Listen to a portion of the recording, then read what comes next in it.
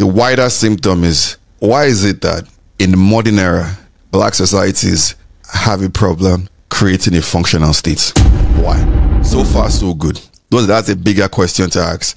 Um, but in this particular instance, we're sitting down, we're taking a look at mm-hmm. this situation where, where, where, you know, I don't, when people sit down, I don't even know what to tell them. It's like, look, man, I don't know what you're expecting. And for the people that will come again, I want to tell you, well, in, we're going to re-strategize in four years. It's like, bros, please. I don't know. I've, I've yeah. been, I've, I've, I've found it challenging in the past to articulate how stupid that ideology is. And it's comical year in, year out. Mm-hmm. And I, it's been going on since 2003, in my opinion. Yeah. So when somebody comes and starts talking about, well, you know, you have to re-strategize, again, it's one of three things.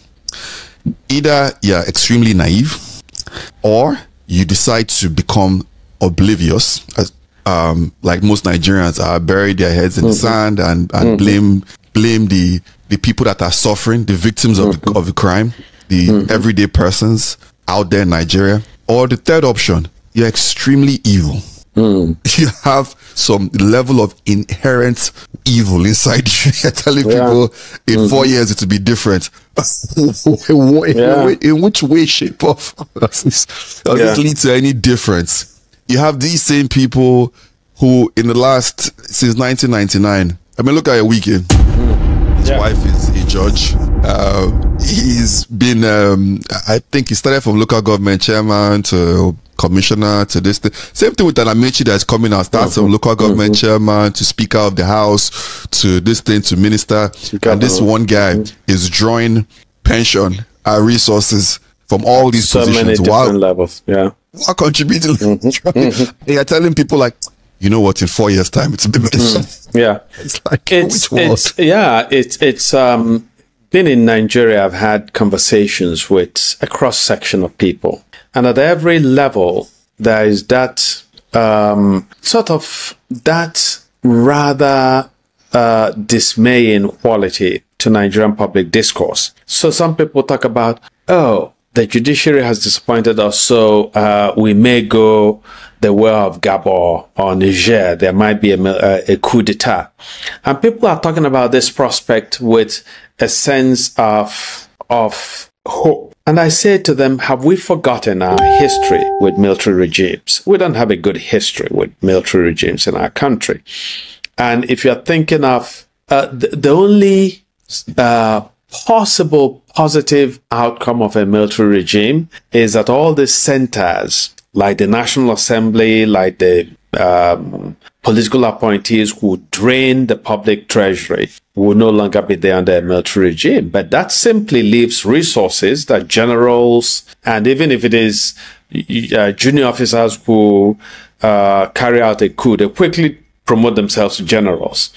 And so you're going to see generals and you're going to see politicians recycle themselves into sycophantic servants uh, and stooges of a military dictatorship. So I don't think that the military is an option that we ought to look at with any sense of um, of of you know um, of hope, right?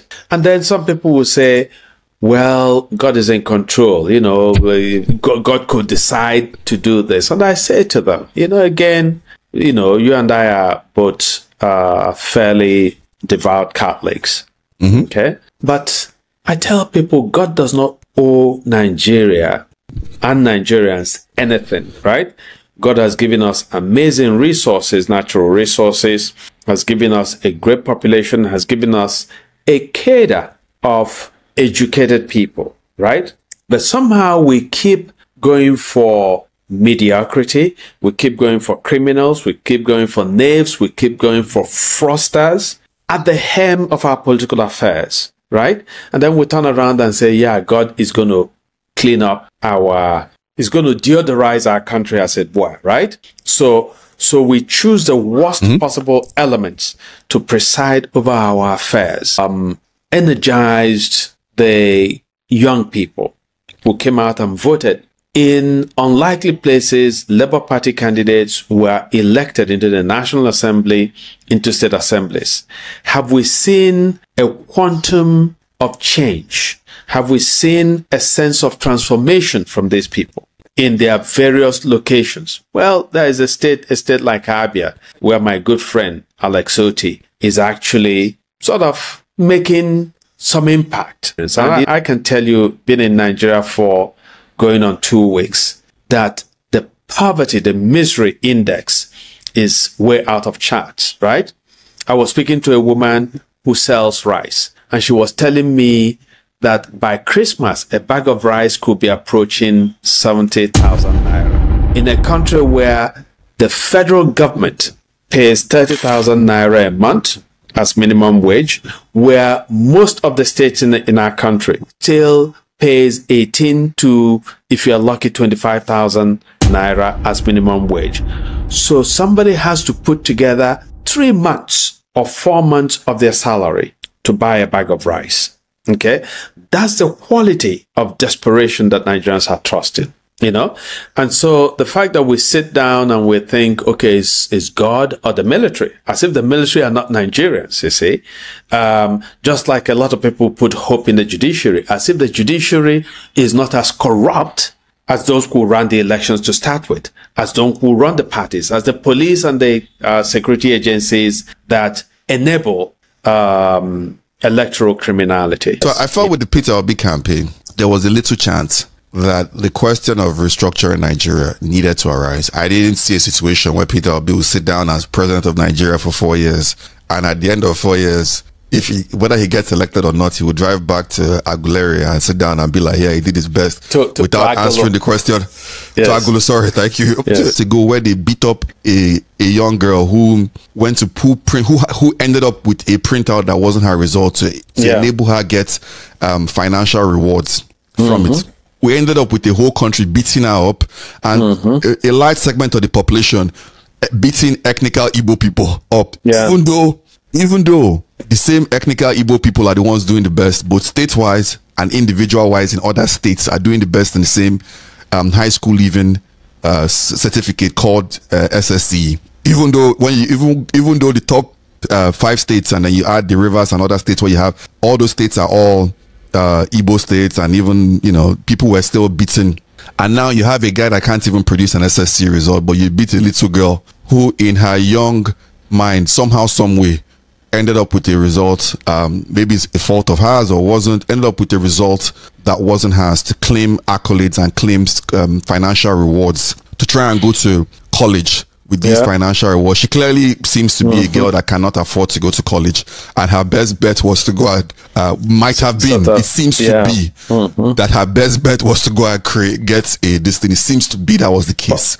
yeah you know, it seems to be. That's my own deduction of what I saw. A girl is like, I. What am I writing SSC for? Let me go and, uh, after all, we all forge things in Nigeria. Let me go and forge this uh, highest this thing. It seems to be. Um, but whatever Yeah. it was, it wasn't a result, a legitimate way. Yeah, in my so, opinion. somehow my my I have a deep, um, a fundamental um, antipathy to military dictatorships as a rule. Part of it is that um, as frustrated as I am with the um, this this thing that we've misnamed democracy in Nigeria, you know, because uh, it's not democracy in a lot of ways. Then, for me, what we have in Tinubu's government is actually a dictatorship by by uh, a group of men and perhaps a few women who are not in uniform. But it's a coup. What happened in February in Nigeria was a coup d'etat properly understood. Um, so, which is why, I, as as as you've noticed, I've never called Tinubu president.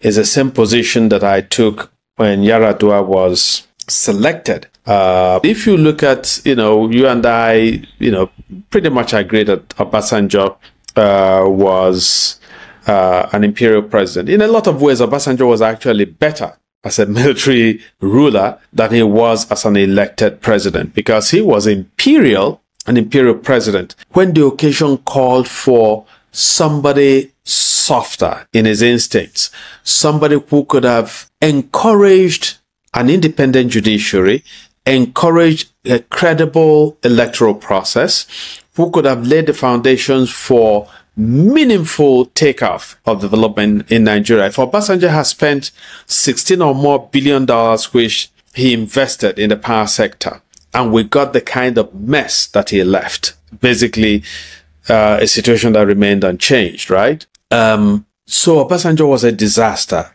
as a, as as a, an, as an elected president, and it was under his rule that he declared that elections were do or die affairs, where the PDP pretty, pretty much took uh, conquered any state that they wanted, with the of course with the um, active uh, complicity of uh, Maurice Iwu, uh, a professor who tainted the office of electoral commissioner, even though of course uh, subsequent successors to the office of INEC chairman have actually beaten his record of, of fraud and incompetence and uh, and ineptitude and so on. Um, I would like a situation where there is organic change in Nigeria. I sort of see it. So instead of expecting God to solve our problems, which God doesn't owe us anything, uh, never owed us anything, has given Nigerians too much, or expecting the military to solve the problem. I think that it behooves Nigerians to do, excuse me, perhaps what young people did uh, in 2020 uh, in the EndSARS movement, which was what they reenacted in electoral terms uh, in February, right?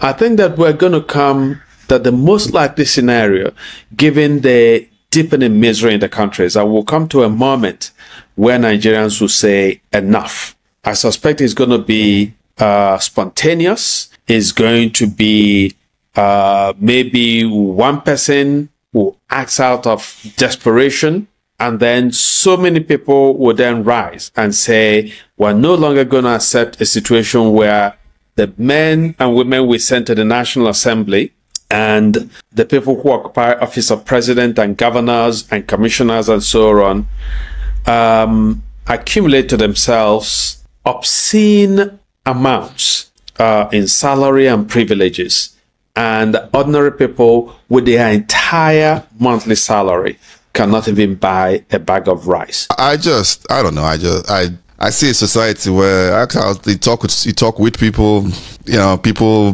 people are just waking up and, and moving around as best as they can.